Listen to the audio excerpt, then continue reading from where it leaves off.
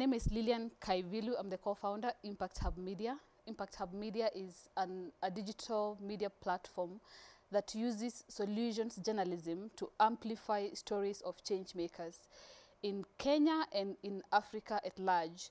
And what we mean by change makers, these are institutions, they could be individuals, they could be companies, or even government initiatives that are offering scalable solutions to the challenges facing the continent of Africa today.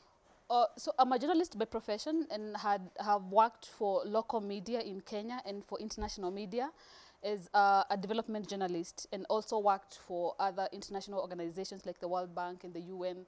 And, and, and one thing I noticed throughout my, my career in the, in the mainstream media was that uh, positive stories or what you would call development stories or solutions journalism as you call it today was not really given uh, such a big space in the in the mainstream media space. And this uh, prompted me uh, particularly when uh, Kenya rebased its GDP uh, sometimes I think it was in 2015 uh, prompted me to ask uh, so what is the space for people who are offering solutions? Because as you know our journalism training is um, is man bite dog kind of a narrative so I was looking for an alternative uh, way of telling stories by amplifying stories of uh, people who are offering solutions as opposed to picking the problems uh, that, that, that, that, people are experiencing each day. So that is what uh, prompted me to start Impact Hub Media uh, then.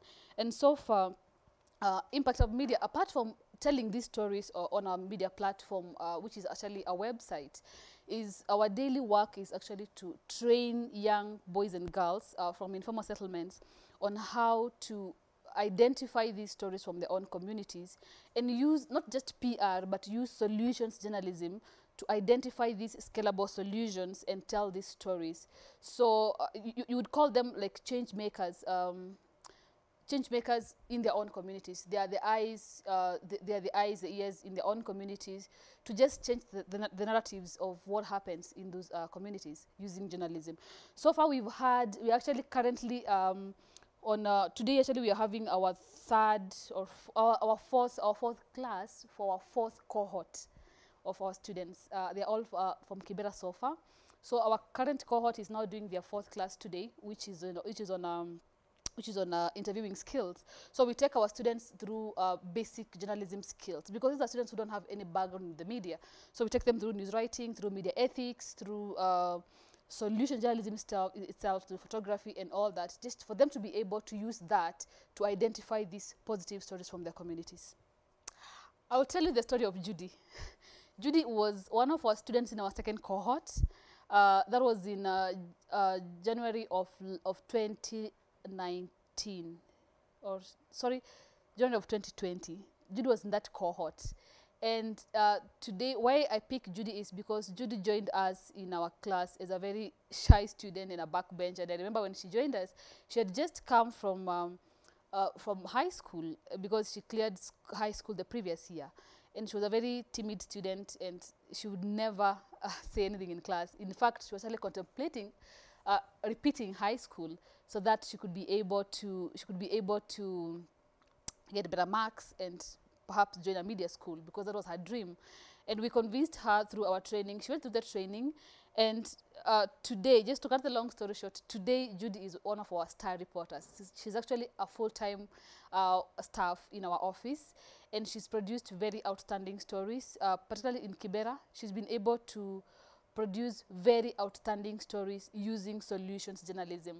And apart from that, uh, Judy has also been uh, picked by other organizations to undergo their journalism training. And for us, a particular uh, training that Judy has undergone recently uh, during this time of COVID-19 was the training by the Facebook Journalism Project. To us, that was a very big deal to have a student uh, from scratch who has gone all the way to be able to produce stories and now uh, uh, being able to even qualify for the, for the Facebook Journalism Project.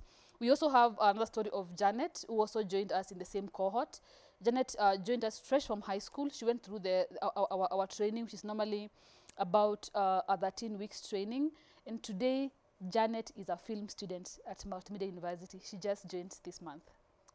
Well, uh, as, as a solutions journalism um, media platform, we, we, we, we tend to look for solutions even where there are problems. So during COVID-19, when everyone was seeing the problems, we looked at people who are offering, again, scalable solutions to the challenges around COVID-19. And, and for us, our biggest uh, breakthrough is when uh, the WAN-IFRA, that is the World Association of News Publishers, um, give us a grant to be able to carry out a training to our journalists and other journalists outside our platform to be able to identify these stories and cumulatively were able to produce more than uh, 13 tailored stories, uh, purely tailored to produce content on the people offering scalable solutions around COVID-19 uh, response. That to us was a very big breakthrough in the midst of the pandemic. That happened uh, last December in 2020. Five years from now, we see ourselves as, uh, as the to-go-to media platform in particularly changing the narrative about the African continent. We see ourselves as the hub where people would look out for change makers and, and not just that, but a place where change makers and people who can help scale up their solutions can meet, like a meeting place for change makers and the amplifiers of their change making process. So we see ourselves as that place, not just a media house, but a place for change makers and the amplifiers. In this case, could be donors, could be partners, could be financiers, anyone. Yes. I, I, I think I deserve to be a, a Zuri alumni because I am not just an ordinary journalist, but I'm a journalist who is uh, also, first of all, who is a journalist who is um, driving, I mean, getting into a field or trying a hand in the field that uh, is still a, a, bit fresh. I would say solution journalism, have, I mean, solutions journalism is still a fresh, still a fresh field. So as I, I would count myself for Kenya as a pioneer in solutions journalism.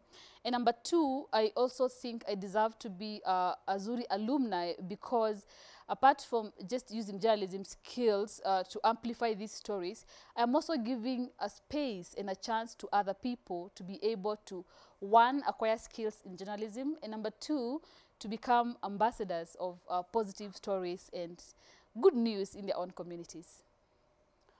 Well, uh, in line with, these, uh, with this year's International Women's Day theme, uh, I believe that as Impact Hub Media, we are not only, um, we, we are giving a chance to every person, and particularly as you can observe, we, we are based in Kibera informal settlements. That is the focus of our students that we train. And interestingly, our current cohort is composed of girls only. Uh, we don't know if it was that uh, was a coincidence or what. But when we made the call for applications, we got girls only, and we said, you know what, we'll continue with the students as they are. And to us, we think uh, that would play a very big role in giving girls an equal chance for them to compete uh, or to play competitively with their with, with their male counterparts. Uh, secondly, uh, I believe that even by the fact that we are using solutions journalism to amplify the untold stories and to change the narrative of the African about the African continent, that in itself plays a very big role to just change narratives and place Africa as a home of solutions as opposed to that uh, notion of a dark continent that has poverty, violence, uh, death, name it. So we, we feel that we are the right we are playing the right role at the right time to position Africa at the place of showcasing what we got as a continent.